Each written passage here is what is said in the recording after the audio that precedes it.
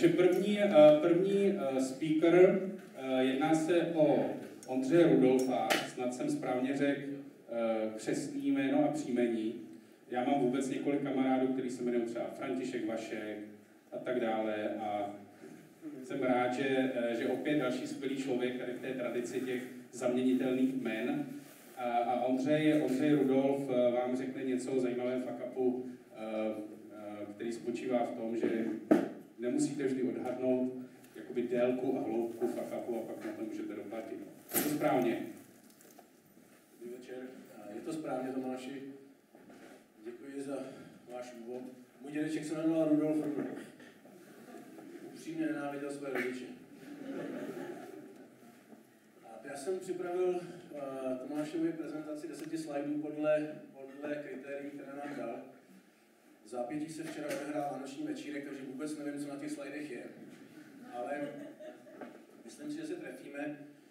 V zásadě je to eh, stručný příběh 12 eh, až 15 let, kdy se nejenom mě, ale v, v partnerství s několika lidmi podařilo vybudovat zajímavý produkt a, a pak si nebýt schopni rozhodnout, kdy z toho vystoupit. Jestli můžu poprosit, že bychom s tím začali. A z toho, protože já se věnuju, věnuju se profesně poradenství v oblasti marketingu, zejména strategií marketingových a, a rozvojových pro firmy a korporace. A jedna z nejdůležitějších věcí, které se mají odehrát ve firmě, je v strategické sladění, něco jako strategic alignment. A na to já jsem v tenhle moment, nebo jsme úspěšně dojeli. Můžu poprosit další? Ten, ten druhý. Ten, a Vybudovali jsme za nemalých investic velice zajímavý produkt, který byl ve své době, nebo je pořád je funkční, a hodně zajímavý pro řízení velkých projektů a projektových portfolií. Je to vysoce profesionální nástroj, eh, který byl v roce 2005-2007 jeden z mála, který skutečně byl jako cloudový a byl software as a service, eh, SaaS, možná někdo si vzpomíná tu zkratku, která se používala Začali jsme v roce 2001 myšlenkou a v, a, tehdy bylo všechno E, bylo e-commerce, e-solution, e-enterprise, e-construction, dokonce jsem byl v Londýně na konferenci, která se jmenovala e-construction a future a něco něco. A vybudoval se výborný produkt, kterýmu jsme strašně věřili a měl, jaksi nesmírně byl kapacitní a, a potenciálně funkční. Můžu dát? Tomáši?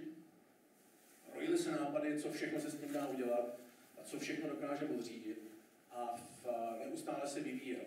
Ehm, byla jedna z zásadních momentů nebo chyb, které jsme udělali v té době, že jsme nešli po biznisové stránce toho, jak to prodám, co nejrychleji, co, co nejdřív na tom vydělám, abych, aby se mi začaly peníze vracet, ale investovali jsme neustále další další zdroje. Jsem moc rychlej? Ne, dobrý. Měl se to nastavovat potom.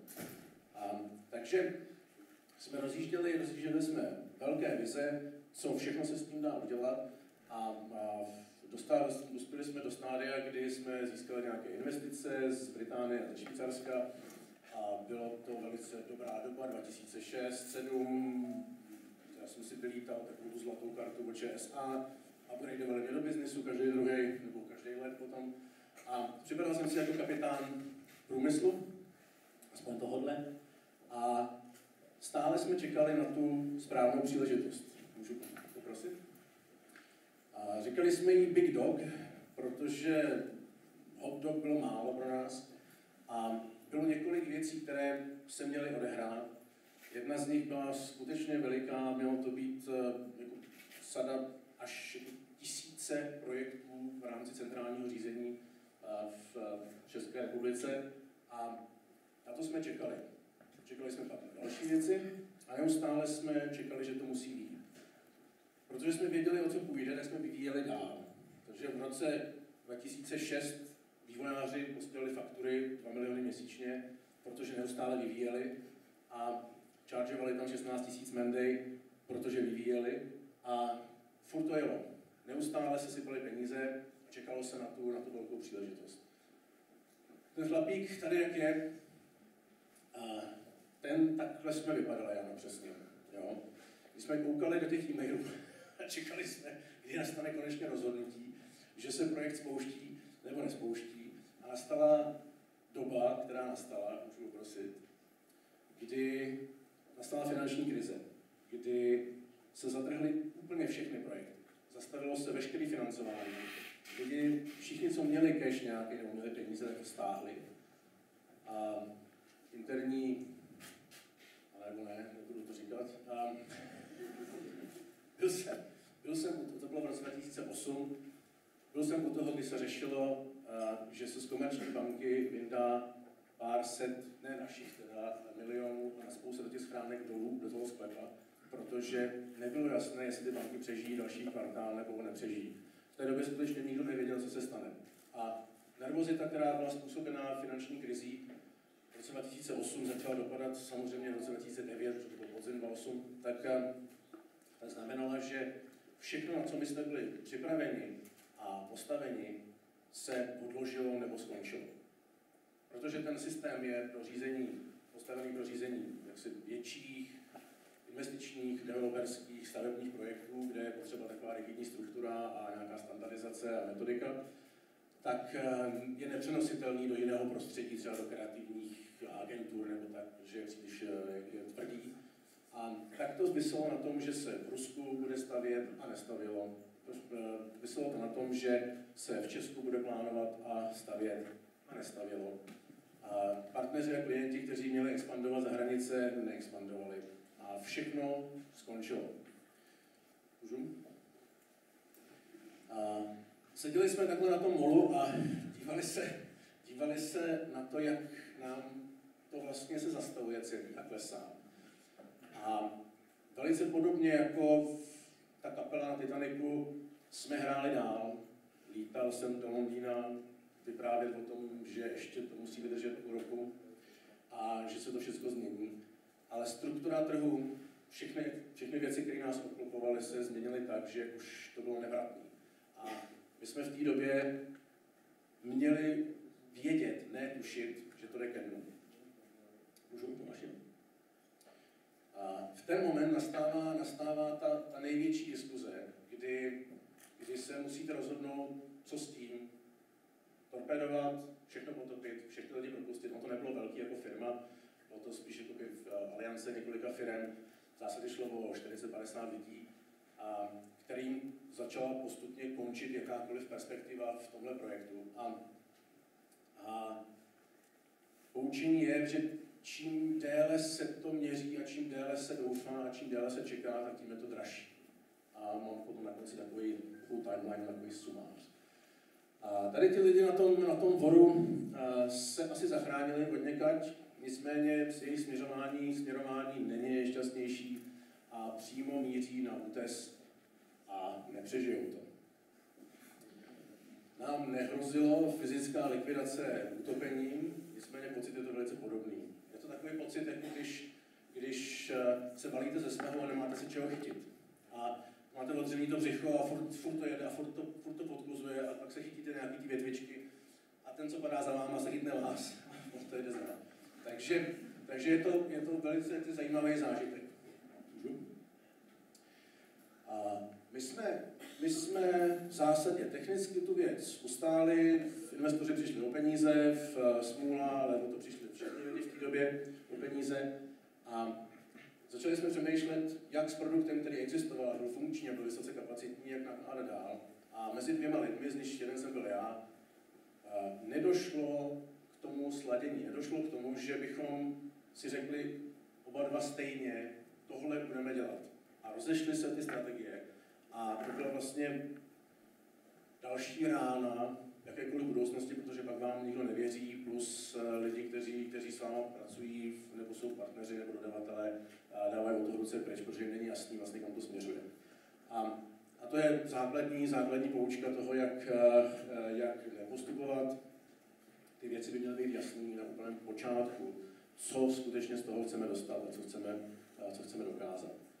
A ne peníze samozřejmě, není to strategický cíl, to peníze jsou jenom palivo. A tohle jsme se dohadovali pár let. Můžu?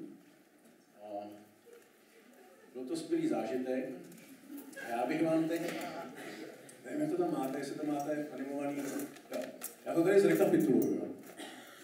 My jsme si udělali tu časovou osu, takže 2001 jsme si řekli, že půjdeme na internet, protože to tehdy bylo jaksi v této oblasti pole neorané, byli jsme originální a, a vybudovali jsme ten systém pro řízení projektových informací, ten už existoval v 2003, na něm se třeba eh, řídili informace, když se stavilo TPCA v Kolíně, na Toyota, jak tam stojí, tak, eh, tak to všechno bylo na těch serverech.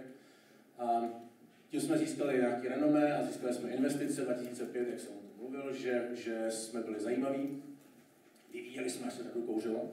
2008 přišla krize, v momentu, kdy to máte hotový, tak ideální stav. A 2009 začali někteří pochybovači tvrdit, že se potápíme. A my jsme tomu moc nevěřili, hráli jsme dál a neustále jsme utráceli další peníze. Ne z toho, že by nás to bavilo samozřejmě, ale protože jsme věřili tomu, že ta věc eh, bude fungovat. V 2012 jsme museli přiznat, že už je to na dně, že už jsme se potopili a ta nejsmutnější část je teda toto poslední, ten bullet, jestli ho uvidíte, 2015, je tam ještě? 2015 ještě se splácí dluhy. Jo. A za to, že jsme nevypověděli včas nájmy kanceláří, že jsme nepropustili lidi včas, že jsme neukončili leasing a tak dále. V podstatě klasický bankrot, který ale může proběhnout velice, velice rychle a elegantně, když víte, jak na to. A v té době to nikdo vlastně nevěděl. A v, tedy ty naši britští partneři, kteří v tom měli, tak říkali, to, víte, to není první krize, kterou my zažíváme, to je cyklický, to je 20 let, my se na to umíme připravit nějak. A v, my jsme, co jsme začali dělat v 90. letech, si pracovat vůbec, zaměstnání nebo podnikat, tak nikdo si nedokázal představit, že následující rok může být horší než ten předcházející, že, že to není možné, protože jsme šli od roku 90, každý rok každý z nás bral více než ten minulý rok. Každý rok vydělal někdo více než ten minulý, logicky samozřejmě. A 2008 znamenal zlom, kdy, jsme, kdy, to šlo, kdy to šlo z kopce a nikdo z nás na to nebyl připravený. Možná bychom dneska dokázali reagovat mnohem rychleji. A poprosím ten poslední. A krátké poučení. A to jsou takový mapy, co já mám rád, to si vždycky nakreslím a, a přitom to pochopím. A narychlo mě napadly čtyři faktory, které způsobují takovou komplikaci, která, kterou jsme zažili my.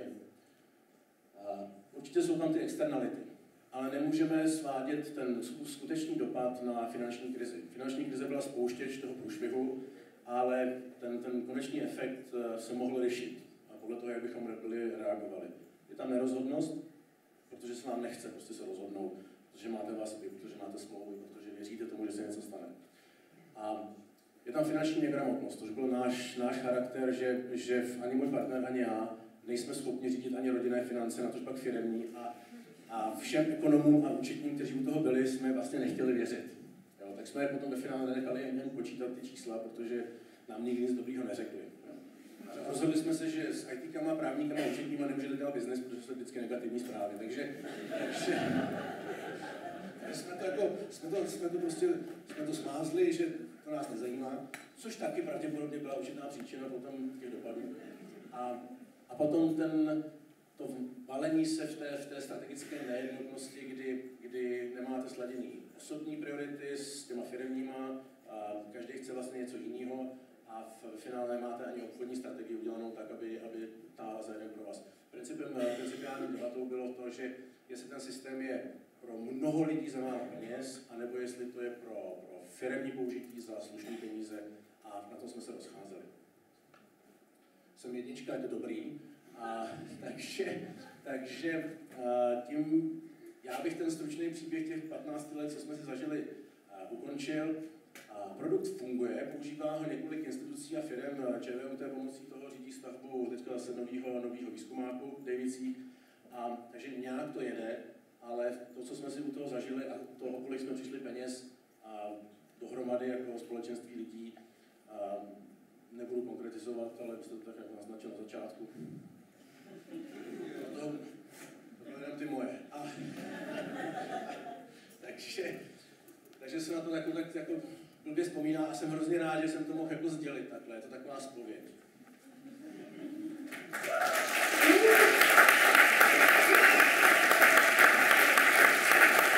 Já děkuji.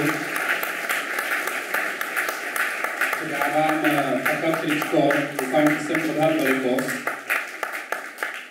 ale kdyby, kdyby bylo nutný, klidně, kdyby bylo nutný 2XL, tak možná ještě jedno máme.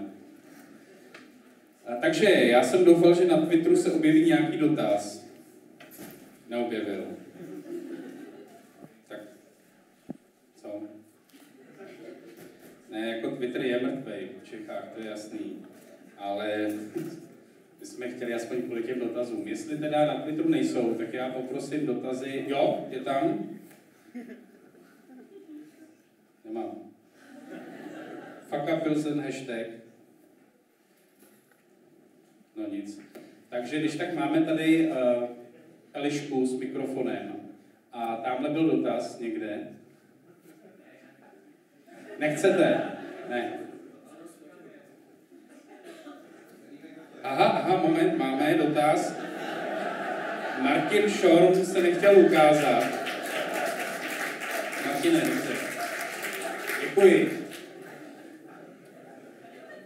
Uh, takže Martin Šorm se ptá, jaká je důvěra v cloudové služby u českých firm? To bylo o tom?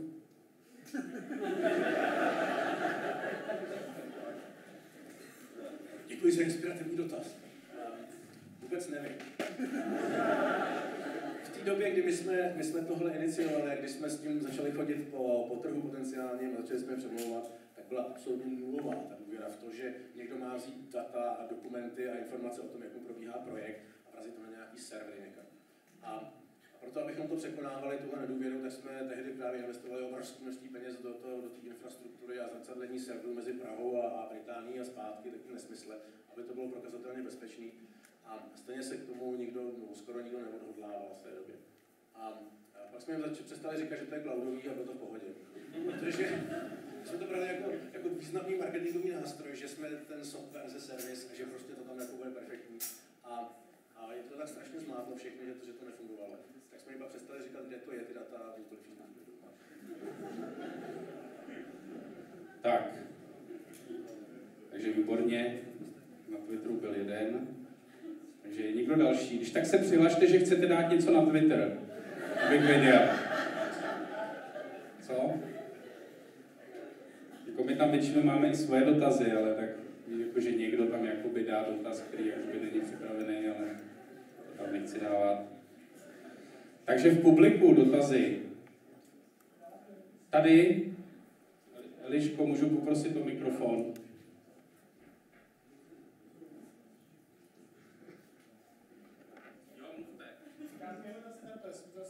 Už mě slyšíte? Jo, super, děkuji. Já bych se chtěl zeptat, eh, vy jste ten systém jakoby mířil na Českou republiku nebo i Portu Británii, nebo kam se tím jakoby, tím produktem jakoby, směřoval? Bylo nám řečeno, že to máme, že máme proof of concept a vůbec business celý model musí vyzkoušet v Česku Aha. a, a, a podle toho se pak budou jako zacházet venku. Takže všechno to jako, mělo Takže to svoje šlo- anglický, německý mutace, italský a tak. Ale primárně to šlo prostě pro Čechy. Bylo to pro Česko, bylo to vyvíjené tady a mělo to, mělo to obsloužit, no, má to obsluhovat český, český organizace. A zkoušeli to třeba nějak prorazit jako do toho zahraničí? Nebo... Došly peníze. Na všechno tohle je potřeba prostě mít, mít ten kapitál, mít investice a, a, a jako sám to neobjedete, že člověk vyrazil z babušky na No, jasně. a jak se to říkal.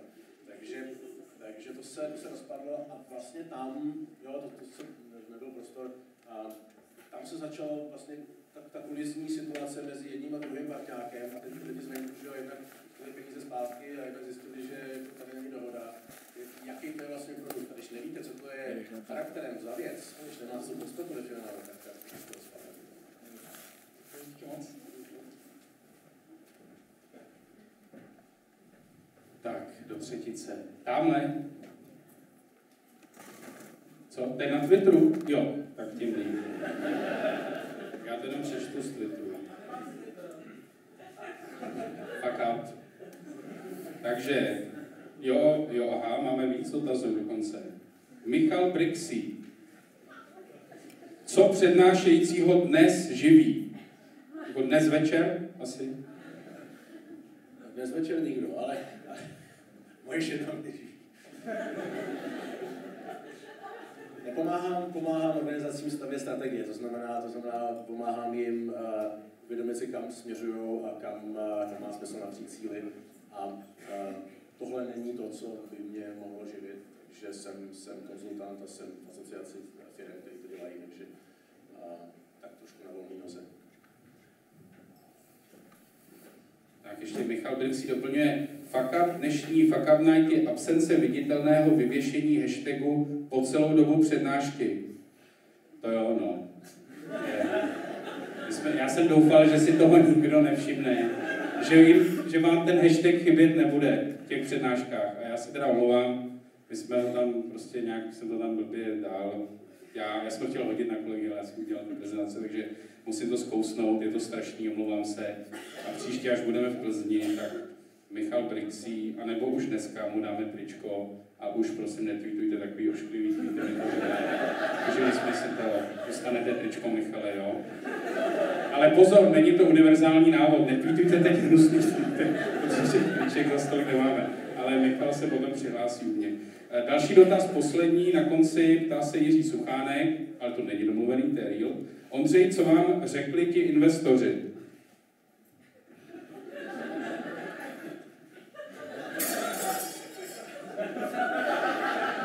pošlete, pošlete poslední účetní uzávěrky a děkujeme na stranu.